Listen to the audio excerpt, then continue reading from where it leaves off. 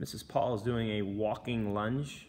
Notice how her back knee just about touches the ground. Make sure you don't bang it off the ground. And her front knee stays behind her foot toe.